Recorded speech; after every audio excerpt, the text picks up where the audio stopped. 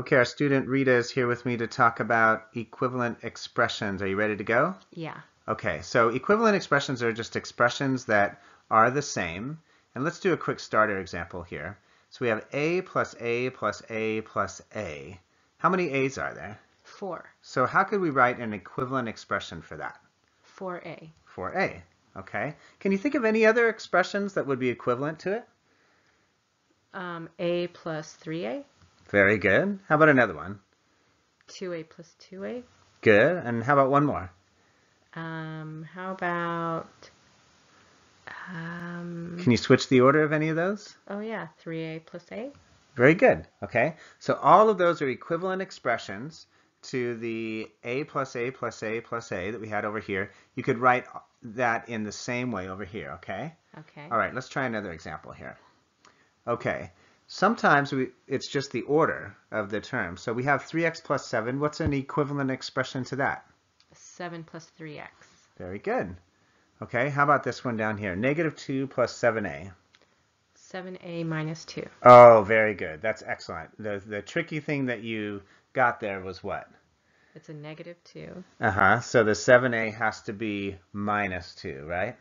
Okay, very good. So always keep an eye on the positives and negatives as you're creating equivalent expressions.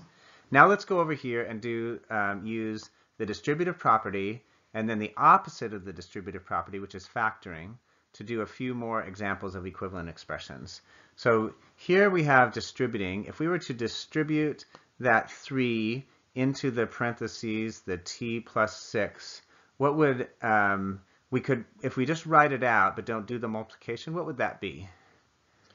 Um, 3t, 3 times t plus 3 times x. I mean Three ti- 6. 3 times 6. Very good. Okay. Now, what if we were to go ahead and multiply that 3 through? What would we have? 3t plus 18. Yeah, and we could also write the multiplication like that, right? 3 times t plus 3 times 6, or we can do what you just said, 3t plus 18. Make sense? Yeah. All of those are equivalent.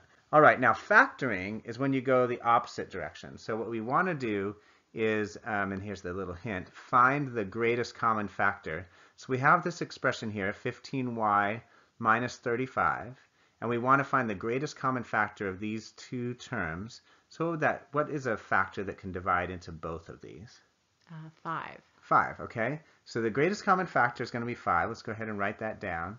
And now we can factor that 5 out, and we can do it just one step at a time. So let's just go ahead and write one of those. So I factor the 5 out of the 15y to leave 3y, and then minus, because remember the, the term here was a 15y minus 35, not plus 35. So I have the minus 5 times 7 to, to factor the 5 out of the 35. And you mm-hmm. can also write it this way right here, right? Yeah. Okay, so both of those are equivalent expressions to what we started with here. And what would be the simplest way to write that equivalent expression if we do the multiplication? So 5 times the quantity, 3y plus 7. Okay, very good. Let's write, go ahead and write that. 5 times the quantity, 3y minus 7. Hmm, there's a mistake there, isn't there?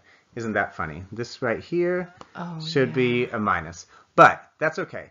Um, so what we basically have done is we've figured out a way to go ahead and write equivalent expressions in many different forms, and one way to do that is by using the distributive property or by factoring. Make sense? Yep. Okay, very good.